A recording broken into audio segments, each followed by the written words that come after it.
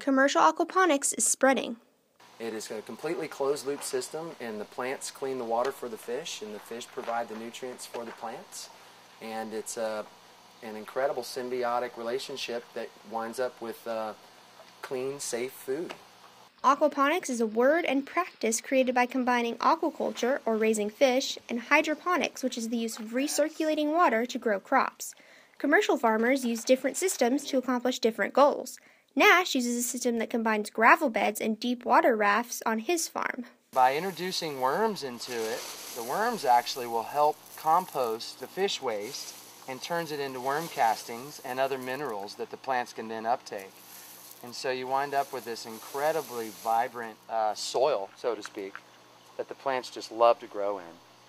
Others cut out the gravel beds and use a series of filtering tanks and 12 inch deep water rafts to grow their crops. Growing in a three inch net pot uh, allows me to grow this amazing cilantro.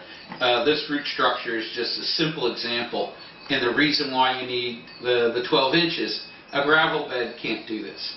Not only do farmers end up with organic crops, but with fresh tilapia.